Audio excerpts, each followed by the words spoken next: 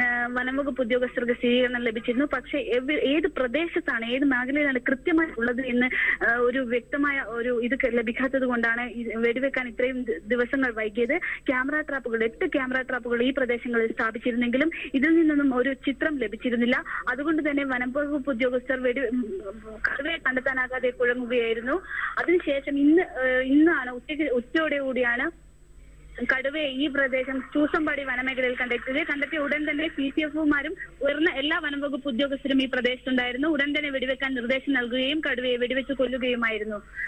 ഹിമ നേരത്തെ ഈ പാട്ടവയൽ മേഖലയിൽ ഉൾപ്പെടെ വലിയ ആശങ്ക. രണ്ട് ജീവൻ എടുത്തു അവിടെ ഒടുവിൽ കൊല്ലപ്പെട്ട സ്ത്രീയുടെ മൃതദേഹവും വെച്ച് ഇരുപത്തി മണിക്കൂർ റോഡൊക്കെ ഉപരോധിക്കുന്ന സാഹചര്യമൊക്കെ ഉണ്ടായി. ആ നാട്ടിലെ ഒരു വികാരം എന്താണ്? ഈ വാർത്ത കേട്ട ശേഷം. തീർച്ചയായും ദിവസങ്ങൾ നീണ്ട ആശങ്കയ്ക്ക് ശേഷമാണ് ഇന്ന് ഉറക്കമില്ലാത്ത രാത്രികൾ തന്നെയായിരുന്നു ഈ പ്രദേശങ്ങളിലുള്ളവർക്ക്. പ്രത്യേകിച്ച് വനാതിർത്തിയോട് ചേർന്ന് കിടക്കുന്ന പ്രദേശമാണ് പാട്ടവയൽ എന്ന് പറയുന്നത്. മഹാലക്ഷ്മിയെ കൊന്നതിന് ശേഷം ഈ പ്രദേശത്തുള്ള ആളുകളെല്ലാം വളരെ ഭീതിയോട് കൂടി കഴിയുകയായിരുന്നു.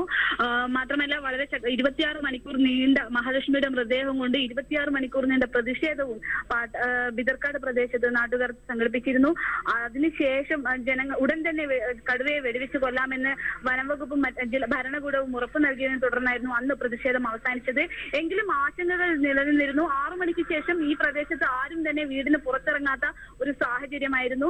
കടുവ ഏത് പ്രദേശത്താണ് എന്നതുപോലും ആദ്യഘട്ടങ്ങളിൽ വനംവകുപ്പിന് സ്ഥിരീകരിക്കാൻ കഴിഞ്ഞിരുന്നില്ല.